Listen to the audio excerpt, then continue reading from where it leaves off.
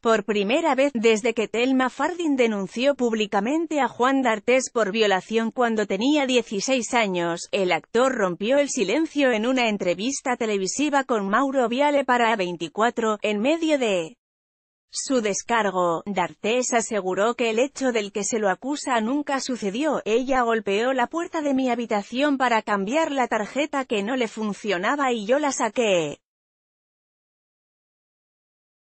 Le dije estás loca, ¿qué te pasa? ¿Tenés un novio? Yo soy un tipo grande, se defendió, previo a revelar que la pareja de la joven por aquel entonces era Juan Guilera. Indagado por esto, Guilera dio a conocer un mensaje que le mandó Juan 24 horas antes de la acusación en el multiteatro. Me preguntó si yo, 10 años después me acuerdo que en algún momento yo le dije a él que Telma tenía fantasías con él.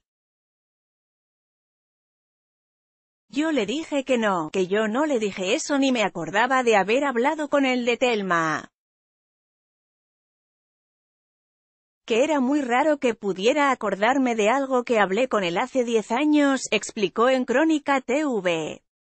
Quiso meterme un recuerdo, a través de una pregunta, que para mí no existió. Yo no le dije eso. No hay una razón normal para que me haya hecho ese llamado. Porque si en 10 años no me vinculo con vos, no hay una razón normal. Esto es una conjetura mía. Siento que hay una manipulación, agregó. Con él tenía conversaciones de colegas. Ni siquiera tenía muchas escenas con él a lo largo de la novela.